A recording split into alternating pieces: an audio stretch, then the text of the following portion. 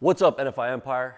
Check out this sharp looking truck here. We've got a 2016 F-150. This is a sport with the Lariat package.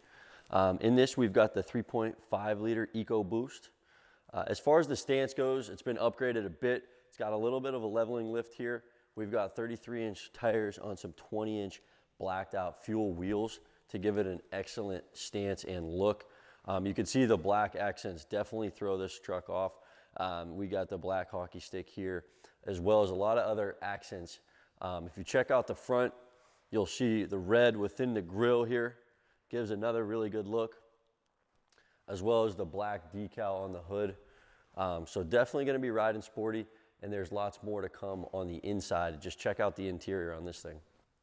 Check it out. So we've got the black and red leather seats here, as well as the suede inset. So it's got a really nice vibe here on the interior.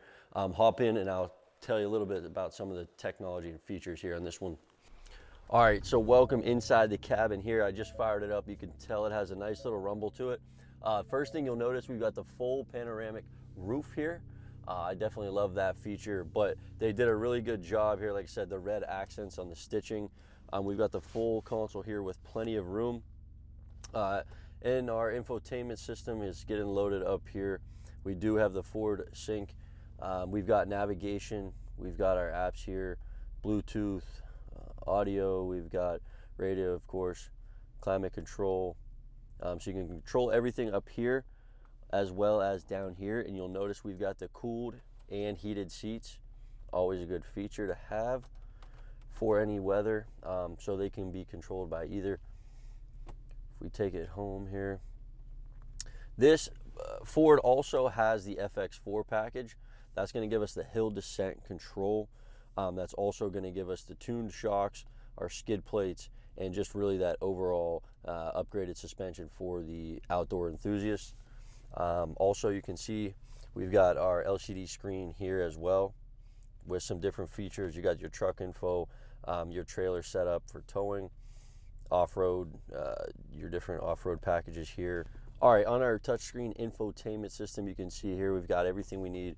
Um, your navigation, of course, but also you can really customize a lot of the settings in here, your sound, your clock, Bluetooth. Uh, we've got um, your display settings, Apple Car preferences.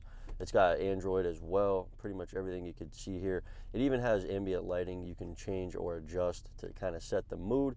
We've got Wi-Fi and whatnot. Uh, we've also got our a backup camera here. And uh, speaking of the back, we're going to take you out and show you the bed of the truck as well um, to get you the final uh, kind of cherry on top here. But um, we'll meet you on the outside. Check it out, guys.